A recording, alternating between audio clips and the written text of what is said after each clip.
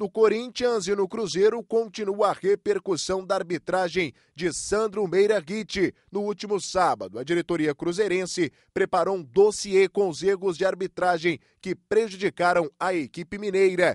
E o Meia Goger voltou a falar sobre o assunto para dizer que não disse que existe esquema para ajudar o Corinthians. O árbitro entra pressionado, são 40 mil pessoas empurrando, a torcida do Corinthians não para um minuto.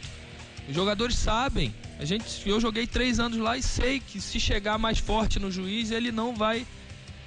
É, é, é, é não vai dar cartão, ele vai todo lance duvidoso é pro Corinthians.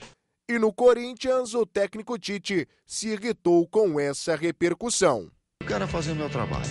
Isso eu quero. E quero que respeitem o meu trabalho. O meu e da equipe que eu dirijo. No Fluminense, uma boa notícia. O atacante Emerson Sheik está recuperado de contusão. Ele trabalhou com a bola normalmente nas Laranjeiras. Com o Emerson à disposição de Murici Gamalho, o Fluminense pode ter em campo o quarteto com Deco, Conca, Emerson e Fred. Até os jogadores esperam por isso. Nós estávamos esperando, né? É, isso acontecer, porque jogadores que têm uma bagagem muito grande, experiência e um poder de definição onde pode desequilibrar para o Fluminense qualquer, qualquer partida.